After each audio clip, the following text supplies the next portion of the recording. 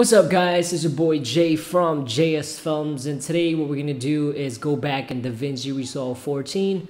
This time around I have the paid version, it finally came in the mail. Now I had a request from somebody, they wanted to see how the 10-bit GH5 H.264s will do in the laptop that I had from my last test. So here it is, it's the same laptop. I have a couple of 10-bit 4K files here, they are DCI 4K you can see here. 4Ks 10 bit you know? So we'll see how we will see how this will play back in the old laptop I have with the 860 GTX graphics card. So let I'm going drag and drop some of these footage here.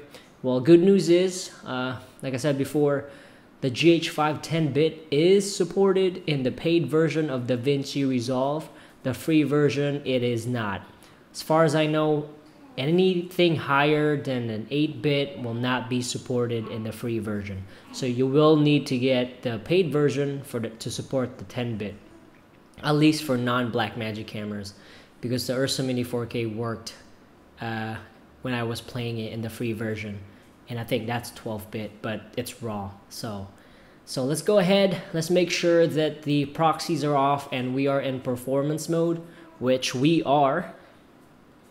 So let's go ahead, rewind and press play to see if we can get a smooth playback. And we do not. Now it's funny because the Ursa Mini 4K played better than this, but then again it was raw and it was made by Blackmagic, so they probably optimized their cameras and the DaVinci Resolve a little bit better because this is H.264 and H.264 is horrible when it comes to editing, especially it's in 4K. So yeah, it's yeah, this is not really good. So you will probably have to upgrade your laptop or you're gonna have to do proxies if you're trying to work with GH5 10-bit videos. Alright, so that's all I have for you guys today. So if you have any questions, just let me know.